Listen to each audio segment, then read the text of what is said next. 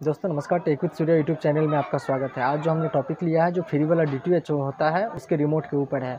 कई बार होता है दोस्तों, जो हम कस्टमर से रिमोट बेचते हैं और वो रिमोट एक दो घंटे बाद लेकर आ जाता है और बोलता है कि रिमोट ख़राब है। तो दोस्तों, इसे चेक करने के लिए बहुत ही बढ़िया तरीके लेकर आए हैं आप लोगों के लिए कि अगर मैं आप लोगों को कहूँ कि आप अपने मोबाइल से ही अगर रिमोट चेक कर, करके बेचें तो तो कैसा लगेगा आपको? चलिए हम स्टार्ट करते हैं और दिखाते हैं आपको, लेकिन उससे पहले एक छोटा सा अपील आपसे कि मेरा वीडियो अच्छा लगे तो एक लाइक ज़रूर कर दे। अगर चैनल पर नया है तो सब्सक्राइब करना ना भूले बेल आइकन को ज़रूर दबाएँ ताकि हर एक आने वाला वीडियो का नोटिफिकेशन सबसे पहले आपको मिले। चलिए हम स्टार्ट करते हैं और दिखाते हैं आपको। दोस्तों, सबसे पहले हमें लेना है रिमोट रिमोट में हम लगाएँगे सेल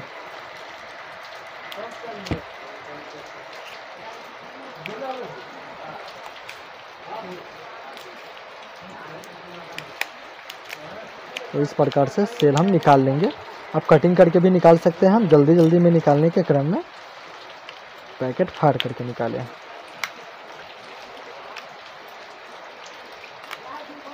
तो इस प्रकार से आप इसमें डाल लें सेल।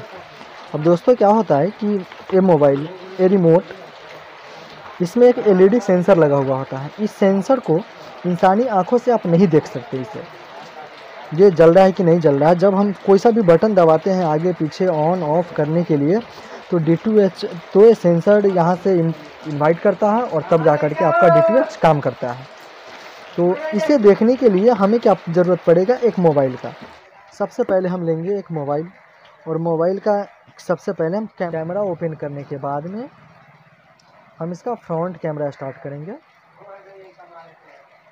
और फ्रंट कैमरा ओपन करने के बाद में इसको क्या करेंगे कि इस जो सेंसर नज़र आ रहा है, सेंसर को कैमरे के पास ला करके और तब हम जलाएँगे, कोई सा भी बटन टिपेंगे। तो जैसा कि आपको नज़र आ रहा होगा कि मोबाइल पे आप देख रहे होंगे कि सेंसर किस प्रकार से एक पिंक कलर का लाइट जल रहा है सेंसर के अंदर। तो इससे हम कॉन्फर्म हो जाएँगे कि हमारा रिमोट 100 परसेंट ठीक है। ये रिमोट काम नहीं करेगा, ऐसा हो नहीं सकता है। ये रिमोट 200 परसेंट काम करने के लिए तैयार है, समझ लीजिए। और यही सेंसर अगर नहीं जलता तो आपका रिमोट एक ख़राब होता। उस पीरियड में आप कुछ भी कर देते, ये रिमोट आपका काम नहीं करता।